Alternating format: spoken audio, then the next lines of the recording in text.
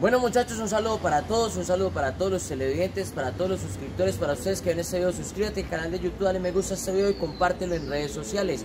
No olviden ingresar al grupo de Facebook RAN 700 Kia Sol y su tipo al mundo en Facebook. Mecánica en general para todo tipo de vehículos. Como vemos en el transcurso del video están pasando unas imágenes de un logo, un logo adhesivo, ¿cierto? Con cinta doble faz o pegatina doble que va ubicado en el capó o la tapa del vano motor. Es un logo similar al del Mini Cooper y es un logo universal.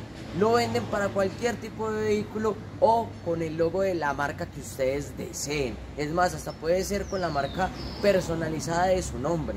Así que el logo es este. Aquí lo tenemos. Yo como siempre lo pedí el de Dodge. Este loguito que ven aquí, el que está pasando en las imágenes, ¿cuánto costó? ¿Dónde lo compró Cristian? Ese logo costó nada más ni nada menos que 3 dólares, muchachos. 3 dólares. Imagínense, prácticamente 13 mil pesos colombianos para un logo similar al del Mini Cooper para ponerlo en el capó del vehículo. Es un regalo. ¿Por dónde lo compré? Por AliExpress. Por AliExpress, recordemos que es universal. Y vamos a ver cómo lo instalamos. ¿Qué necesitamos estas herramientas? Un trapito, una cinta métrica un color o crayola y un poco de cinta de enmascarar. ¿Para qué? Para medir bien, para que quede bien instalado. Así que pasemos a instalarlo. Aquí tenemos los materiales encima del capó. Recuerde que el color o la crayola no va a rayar el vehículo. ¿Qué es lo primero que vamos a hacer? Vamos a limpiar la superficie donde vamos a instalar el logo, ¿cierto?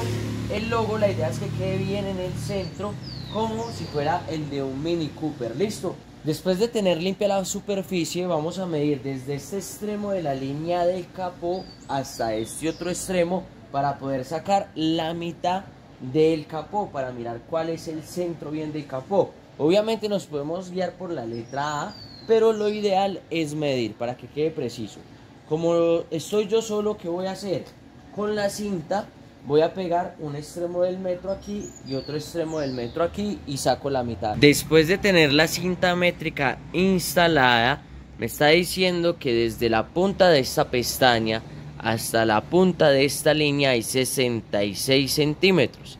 La mitad de 66, 33. O sea, aquí, precisamente encima de la A, como les había indicado. ¿Qué vamos a proceder? Vamos a hacer un puntico con este color o crayola no vamos a afectar la pintura del vehículo para absolutamente nada. Si ven ahí el puntico, ahí tiene que ir pegado el centro del logo. Después de tener el centro del capó, que es aquí, como pueden ver, ¿cierto? Vamos a retirar la cinta métrica y vamos a proceder a desempacar el logo para poderlo pegar bien en el centro. El logo tiene que ir directamente aquí como ven. Sé que muchos van a decir ese color daña la pintura muchachos. No les muestro yo puedo rayar aquí y borro directamente con el dedo si ven y no le pasa nada a la pintura. Ese es el centro. Ese es el centro como pueden ver quedó bien ubicado en la después de tener el centro bien ubicado vamos a retirar nuestro logo de la empaquetadura. Es un logo en metal, es metálico, como lo podemos ver aquí, ¿cierto? Y trae su cinta doble faz. Vamos a retirar la cinta doble faz y procedemos a instalarlo en el capó. Como les había dicho, tiene que quedar directamente aquí. Así. Así como está ahí. Tiene que quedar. ¿Listo? Retiramos la cinta doble faz. Una. Dos y procedemos a instalarlo que quede bien derecho. Listo muchachos, vamos a concentrar muy bien en las líneas que realizamos, ¿cierto? Y vamos a posponerlo. me dice que es ahí.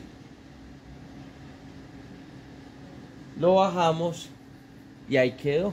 ¿Qué vamos a hacer? Hacer presión en todo el logo para que quede bien asentado en la lámina. Bueno muchachos, bastante fácil la instalación del logo con alas de Dodge Ram. Recuerde que este logo es similar al del Mini Cooper y que nos demoramos instalándolo prácticamente 3 minutos. Muchachos, costó 14 mil pesos colombianos prácticamente, 3 dólares. Vamos a ver cómo quedó instalado porque la verdad le da mucha vida al frente de la camioneta RAM 700 y a cualquier camioneta que se la instalen de cualquier línea, de cualquier marca o a cualquier automóvil les va a dar mucho nivel, mucho estatus. Así que pasemos a ver esto. Aquí tenemos nuestra RAM 700 Bighorn, ¿cierto? Y como podemos observar, miren cómo quedó ese logo de lindo ahí instalado en el capó. Mire cómo le da estatus, nivel, también le cambia la apariencia visual, miren, quedó bien, bien derechito, ahí está. Quedó bastante bonito ese logo instalado. Suscríbete al canal de YouTube, nos vemos en el próximo video porque venimos con más accesorios para las camionetas RAM, ¿cierto? Y fuera de eso, venimos también con más videos de mecánica en general. Un saludo para todos, nos vemos en el próximo video.